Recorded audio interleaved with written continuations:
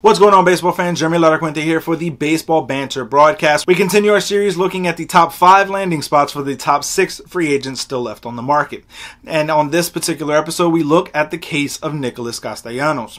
When it comes to Castellanos, this is a very interesting player who has some unique opportunities with some very different teams. But before we get into it, make sure if you haven't already done so, you smash that subscribe button down below as it does a huge service for us here at growing this community. And make sure you tell all of your baseball friends friends that this is the channel to watch in 2022.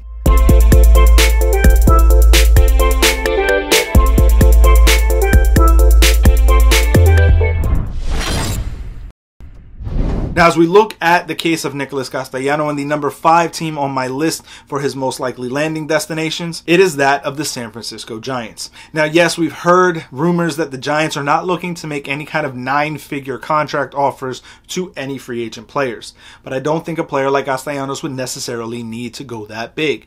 I think when you look at what he's capable of doing, this is a player in San Francisco that could hit at one of the corner outfield spots or corner infield spots. That versatility is something that we saw them use with Kris Bryant. Bringing in a guy like Castellanos will cost them significantly less money. And if you go a little higher on the AAV for a shorter amount of time, I think that we could see Castellanos end up by the Bay. Now, the number four team on my list is that of the Philadelphia Phillies. When you look at what the Phillies are capable of doing, this is a player who could very easily fit their mold. Again, the versatility is really going to be the selling point on a player like Castellanos. Not to mention his offensive ability. If you were to sandwich Bryce Harper between Castellanos and Rhys Hoskins, now you really lengthen out that Phillies lineup. I think this is a player who could really find himself fitting in quite well in the city of brotherly love. Now, the third team on my list is that of the LA Angels. Now, to me, when you look at what Castellanos could bring the Angels, it's a little bit more stability than what we've seen with the volatility that has been Mike Trout's health over the last couple of seasons. Is he going to be the same level of player as Mike Trout? Absolutely not. But having a player like Castellanos paired with Mike Trout and Shohei Ohtani could ease the burden and allow Trout to kind of bring back the reins a little bit and potentially stay more healthy going into the 2022 season. When you add and you lengthen the lineup, Mike Trout doesn't have to do so much to carry the Angels roster. When you pair a player like Castellanos with Shohei and Mike Trout, you have a very serious threat from the LA Angels. Now, when we look at the number two team on my list, there were already some rumors of a potential connection with them and Castellanos, and that is the Miami Marlins. Miami is going to be a team that is going to sneak up on some people in 2022, in my opinion. During the shortened 2020 season, they really surprised a lot of people. They regressed a bit in 2021, but I think going into 2022, they're going to have a bit more of an edge and a bit more hunger to them.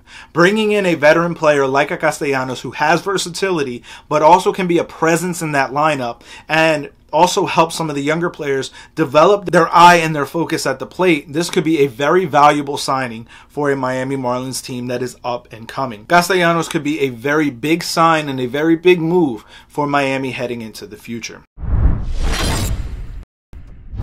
Now, my number one team and my most likely landing destination for Nick Castellanos is that of the Boston Red Sox. I think when you look at what Boston is going to be doing in the 2022 season, they're going to be competing. There's no doubt about that. When you add a player like Castellanos who has a hunger, a desire to be victorious, and you pair him with a very gritty team that is the Boston Red Sox, players that are looking to be very similar to their manager and chasing after the fire and the passion that Alex Cora has, I think Castellanos fits that mold. And when you put him in, in a lineup with Rafael Devers, Xander Bogaerts, JD Martinez, this is a player who's going to fit in in that grinder mentality just perfectly. But again, let me know your thoughts on this down in the comment section below.